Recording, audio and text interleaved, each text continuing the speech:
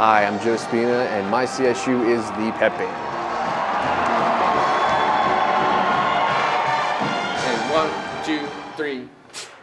My role in, with the pep band is um, I'm a graduate teaching assistant here at CSU. Chris Krueger and I, uh, we, we go to the basketball games and we help make sure that the pep band is, uh, is, is well organized, well rehearsed. Don't swallow it. Da, da, da, okay? I'm Chris Krueger, and my CSU is the Ramshorn Pep Band at Colorado State University. I'm a graduate teaching associate with uh, the CSU Pep Band, so I, I help run rehearsals and uh, are, am president at the, uh, at the games. At our four-minute media timeout, he uh, kind of just broke the, the dancing out one time, but uh, really it's the, the overall scope of the pep band is to, is to keep the, the crowd into the, engaged into the game. I just started dancing a little bit, and then, um, and then I kind of see people around me, and they start feeding off the energy.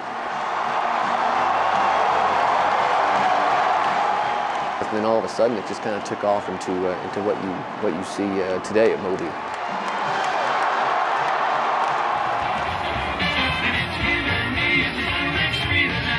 Playing with the Big Bad Voodoo Daddy in the fall was, um, it was really just an amazing experience.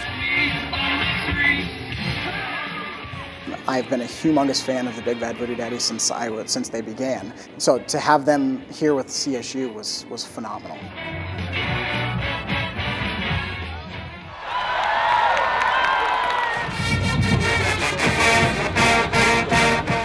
This was my first year doing the Parade of Lights. An amazing experience, uh, unlike I'd ever I'd ever seen. Being a graduate teaching assistant is really a, such a, a, rewarding and unique experience. And it's, uh, it's, it's rewarding in that we actually get to work with people one-on-one -on -one each day.